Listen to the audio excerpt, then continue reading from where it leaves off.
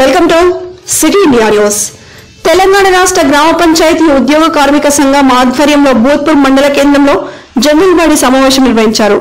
Bhoothpur major news Telangana రాష్ట్ర గ్రామ పంచాయతీ ఉద్యోగ కార్మిక సంఘం సిఐటి అనుబంధం వారి ఆధ్వర్యంలో లోపపూర్ మండల కేంద్రంలోని మునిరంగస్వామి గుడి దగ్గర జనరల్ బాడీ సమావేశం జరిగింది. ఈ సమావేశానికి జి నారాయణ అధ్యక్షతన వహించారు. ఈ సందర్భంగా సిఐటియు జిల్లా కార్యదర్శి నల్లవేలి కురుమూర్తి మరియు సిఐటియు జిల్లా నాయకులు కురుమూర్తి మాట్లాడుతూ తెలంగాణ రాష్ట్రంలో వివిధ శాఖలు సంస్థలు కార్పొరేషన్లో పనిచేసిన పర్మనెంట్ ఉద్యోగులతో పాటు కాంట్రాక్ట్ అవుట్సోర్సింగ్ ఉద్యోగులు కార్మికులకు మరియు casual labour daily wage workers full time contingent workers consultant pay workers part time workers home గార్డులు anganwadi teachers ఆయాలు village revenue assistants village organization assistants ASHA workers self ఉద్యోగులు మరియు జడ్పీటీసీ ఎంపీటీ సర్పంచ్లకు రాష్ట్ర ప్రభుత్వం వేతనాలు పెంచిందన్నారు. గ్రామ పంచాయతీలో పనిచేసిన సిబ్బంది వేతనాల పట్ల ప్రభుత్వం ఎలాంటి నిర్ణయం తీసుకోలేదన్నారు.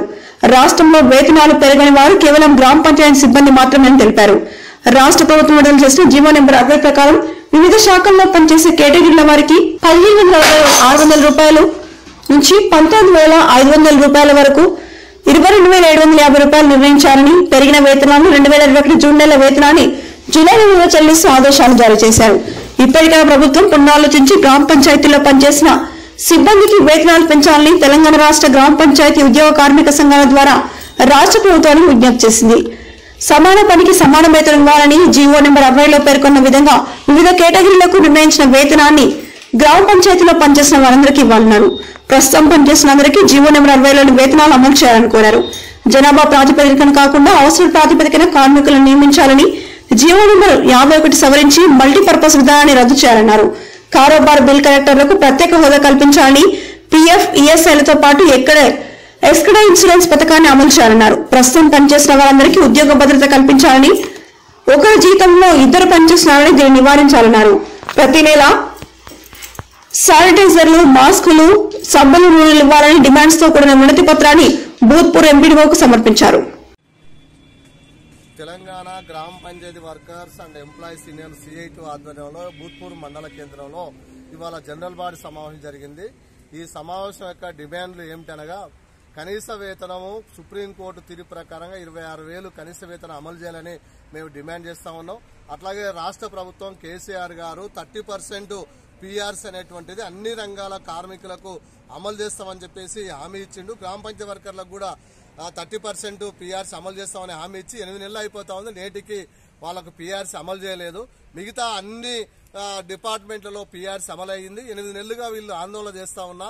అట్లాగే మల్టీపర్పస్ విధానం ఎత్తివేయాలని చెప్పేసి డ్రస్సులు చెప్పులు శానిటైజేషన్ మాస్కులు పనిముట్లు ఇవన్నీ ఇవ్వాలని చెప్పేసి అట్లాగే గుర్తింపు కార్డులు ఇవ్వాలని చెప్పేసి రకరకాలైనటువంటి పద్ధతుల్లో ఇప్పటికి అనేక దశల వారీగా పోరాటం చేస్తా ఉన్నా. అయినా ప్రభుత్వం ఈ జిల్లా అధికార యంత్రాంగం ఈ జిల్లాలో పనిచేసినటువంటి నాయకులుగా ఉన్నటువంటి వాళ్ళు అట్లాగే అధికారులు ఏమాత్రం స్పందించలేదు. కాబట్టి దీన్ని నిరసిస్తూ రేపు జిల్లా కేంద్రము అట్లాగే మండ భూత్పూర్ మండల కేంద్రంలో ఆందోళన కార్యక్రమాలు చేపడతా ఉన్నాం. కాబట్టి ఈ కార్యక్రమంలో కార్మికులంతా పెద్ద ఎత్తున పాల్గొనాలని చెప్పేసి విజ్ఞప్తి చేస్తా ఉన్నాం. నా పేరు నలవేలి కురుమూర్తి సిఐటి జిల్లా ప్రధాన కార్యదర్శి. సిఐటికు అనుబంధంగా ఉన్నటువంటి గ్రామ పంచాయతీ వర్కర్స్ ఉద్యోగుల సంఘం ఆధ్వర్యంలో ఇక్కడ కూత్పూరు మండల కేంద్రంలో ఒక జనరల్ బాడీ సమావేశం జరిగింది. ఈ సమావేశానికి దాదాపుగా ఈ మండలంలో ఉన్నటువంటి గ్రామ పంచాయతీ కార్మికులు ఒక యాభై మంది దాకా హాజరు కావడం జరిగింది. వాస్తవంగా వాళ్ళకు సంబంధించినటువంటి డిమాండ్ చూసినట్లయితే సమాన పనికి సమాన వేతనం ఇవ్వాల్సినటువంటి అవసరం ఉంది. ప్రభుత్వమే చెప్పడం జరిగింది. కోర్టులు కూడా చెప్పడం జరిగింది.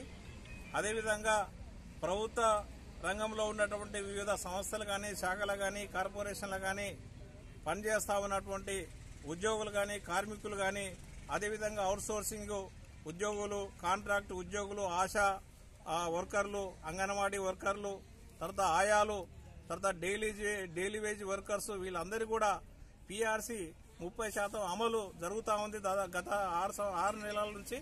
మరి నేటికి వీళ్ళ పైన దళితులుగా పనిచేస్తా ఉన్నటువంటి గ్రామ పంచాయతీ వర్కర్లు ఎవరైతే గ్రామాల్లో పనిచేస్తా ఉన్నారో వాళ్ళంతా కూడా దళితులు గిరిజనులు తర్వాత బీసీలు అట్టడుగు వర్గానికి సంబంధించినటువంటి వర్గాల ప్రజలు పనిచేస్తా ఉన్నారు. మరి ఇదే కేసీఆర్ దళిత బంధు ఇస్తా అని చెప్పేసి ఆ రోజు చెప్పినటువంటి పద్ధతుల్లో మరి ఈ రోజు దళితుల పట్ల వివక్ష చూపిస్తా ఉన్నారనేది మనకు స్పష్టంగా అర్థమవుతుంది. కాబట్టి ఏదైతే జీవో పెరగడానికి సంబంధించినటువంటి జీవో అరవై